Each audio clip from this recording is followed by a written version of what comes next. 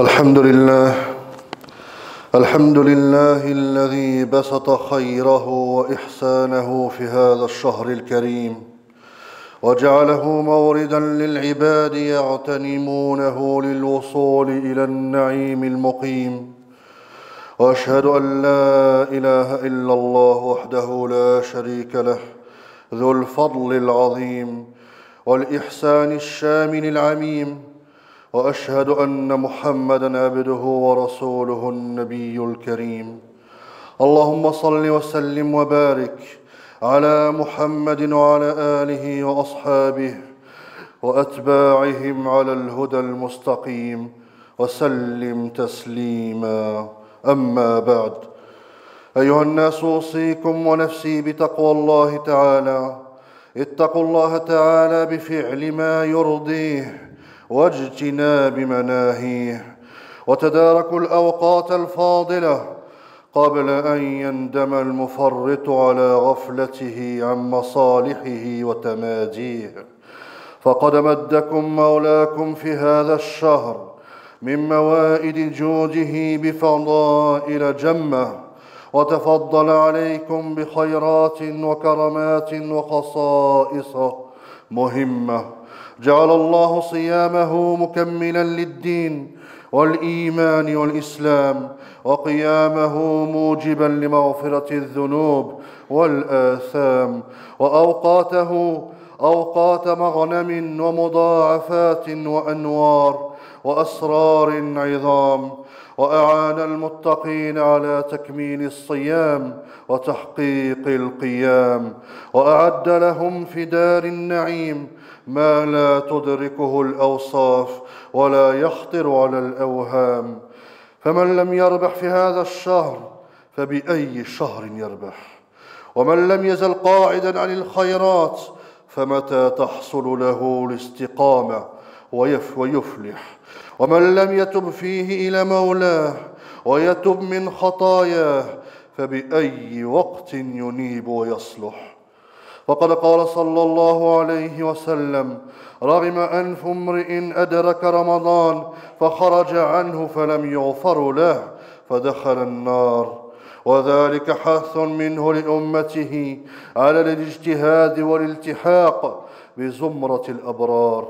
عباد الله ألا وإن شهركم الكريم قد أخذ في النقص والاضمحلال فتداركوا أيامه الثمينة ولياله الشريفة بصالح الأعمال فيا أيها المتواني يا أيها المتواني كأنك كأنك به وقاد شراف الارتحال ويا أيها المتعلل يا أيها المتعلل بالتسويف كم قطع التسويف من أعمال وآجال. ويا أيها الكسلان أيها الكسلان كم فوت الكسل من خير وكمال. وقد أقبلت عليكم عشره الأخيرة الكرام فاستقبلوها بالعزائم الصادقة والاحترام. وقد كان صلى الله عليه وسلم إذا دخل العشر شد مئزره وأحيا ليله وأيقظ أهله وذلك لالتماس ليلة القدر وهي ليلة عظيمة الشرف. جليلة القدر جعل الله في خيرها وفضلها وبركتها خيرا من ألف شهر. أبهمها في ليالي العشر رحمة منه بعباده المؤمنين. ليكونوا في جميع العشر متعبدين قانتين. وينالوا جزيل الثواب والقرب والزلفى من رب العالمين. أنزل الله بها القرآن وهو أشرف النعم والمواهب واغدق فيها الإحسان والخيرات والرغائب وغفر لمن قامها إيمانا واحتسابا جميع الذنوب والمعائب وأودعها من الأسرار والأنوار ما يصل به المتقون إلى أعلى المطالب. وأذاق العارفين من حلوات أنسها ونفحات قدسها وهو ألذ المشارب. وجعل لكل مؤمن ومؤمنة من خيرها وبركتها بحسب إخلاص والجد والمراتب. ولقد أصيب من حرم ولقد أصيب من حرم خيرها وبرها بأعظم المصائب. أعوذ بالله من الشيطان الرجيم. يا أيها الذين آمنوا اركعوا واسجدوا واعبدوا ربكم وافعلوا الخير لعلكم تفلحون. بارك الله لي ولكم في القرآن العظيم. ونفعني وإياكم بما فيه من الآيات والذكر الحكيم. أقول قولي هذا وأستغفر الله العظيم لي ولكم ولسائر المسلمين من كل ذنب. فاستغفروه إنه هو الغفور الرحيم.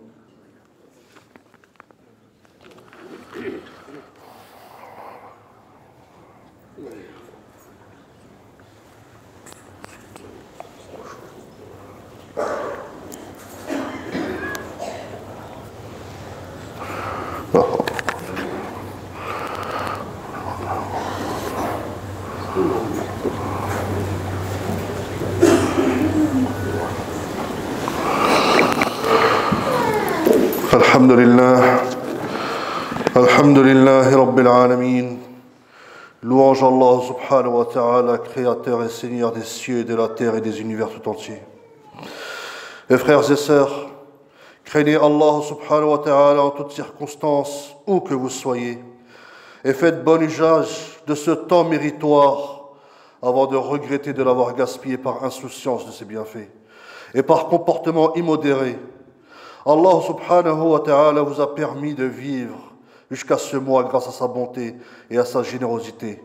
Dieu a ses abondantes bénédictions et il vous a favorisé à d'autres de nobles dotations et d'une grande distinction.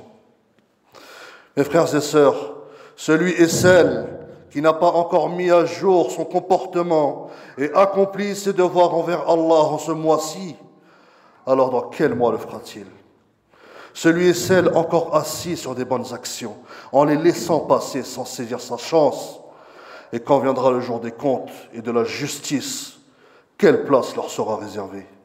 Et quiconque ne se repent pas de ses péchés auprès d'Allah, à quel moment va-t-il et va-t-elle se repentir et se racheter de ses erreurs et des offenses et des désobéissances Allah subhanahu wa ta'ala fait du jeûne un accomplissement de la religion, de la foi et de l'islam. Et il a fait de son observance une cause de pardon des péchés et des offenses.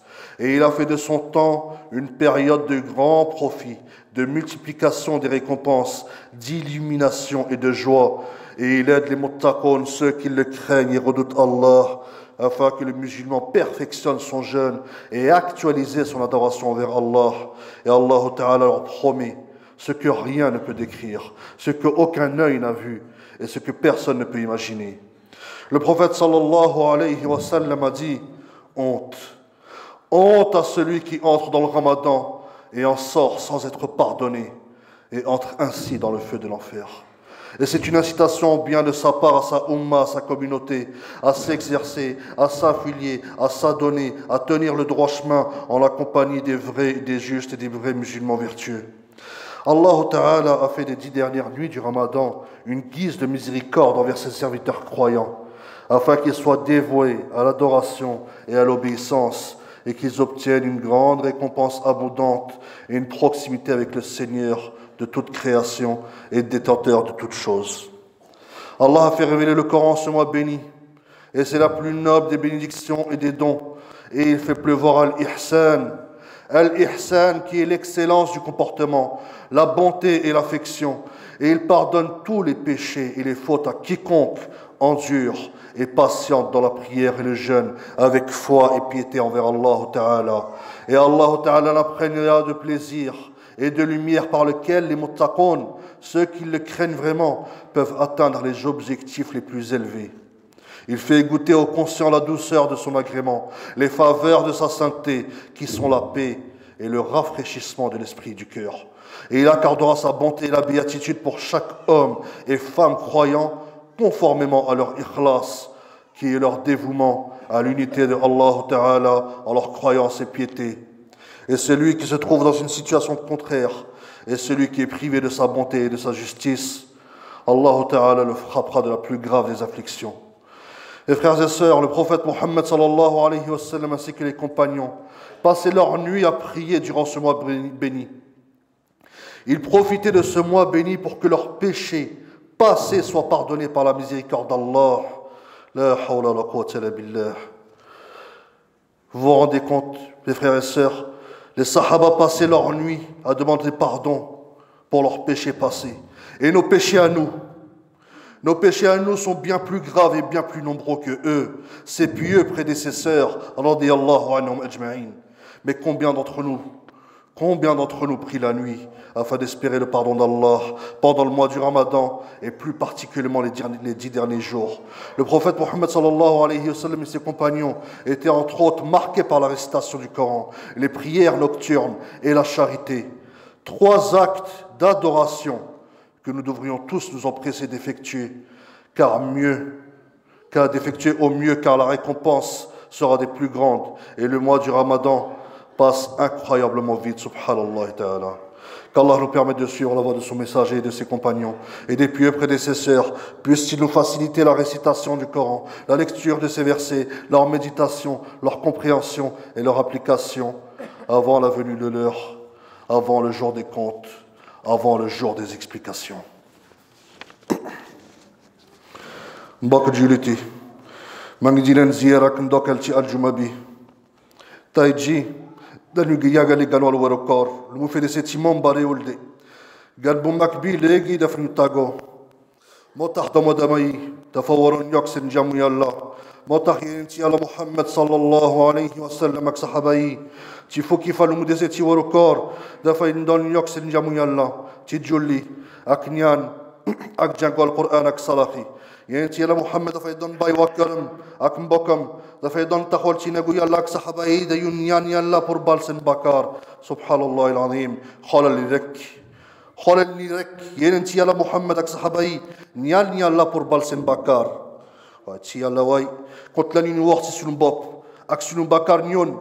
جلو تتاي دفع صحلا يرمن دي بورمم دي. بس كس بس كس تبا دومون دي بي. يو يا خم لنا دفع bakkaaru saxaaba yi ak sunu bakkaar ñun du benn de moo tax yeneen ci yàlla Muhammad ak saxaaba yi ci guddi fukki fan fii mujj ci weeru koor dafay ñu yokk si dina góorgóorlu ci jamu yàlla moo tax jullit yi dafa waroon dundal seen guddi comme sunu yeneen ci yàlla Muhammad sallallahu alayhi wa sallam di taxawal ci julli ak jàngal Qur'an ak saraxe ak ñaan sunu boroom ñu ñaan yàlla ci sunu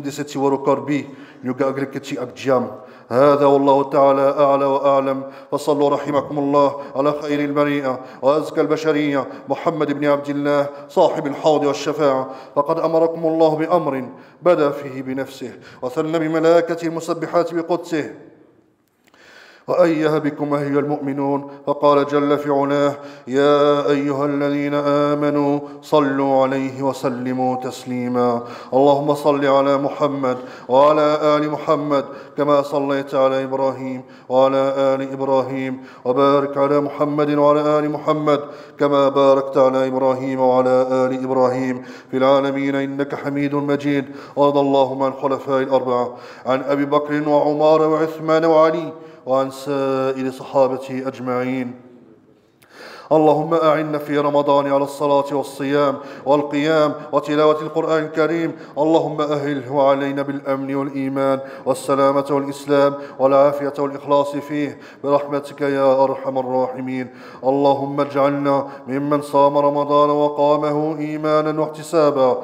اللهم احفظنا واجعل هذا البلد آمنا مطمئنا واجعلنا من الآمنين فيه. ووفقنا لما تحب وترضى. يا ذا الجلال والإكرام. اللهم إنا نسألك العفو والعافية في الدنيا والآخرة. اللهم إنا نسألك العفو والعافية في ديننا ودنيانا وأهلنا وأموالنا. برحمتك يا أرحم الراحمين. اللهم ربنا آتنا في الدنيا حسنة وفي الآخرة حسنة وقنا عذاب النار. اللهم أحسن عاقبتنا في الأمور كلها وأجرنا من خزي الدنيا وعذاب الآخرة. برحمتك يا أرحم الراحمين. عباد الله الله إن الله يأمر بالعدل والإحسان وإيتاء ذي القربى وينهى عن الفحشاء والمنكر والبغي يعظكم لعلكم تذكرون فاذكروا الله يذكركم واشكروه على نعمه يزدكم ولذكر الله أكبر والله يعلم ما تصنعون والحمد لله رب العالمين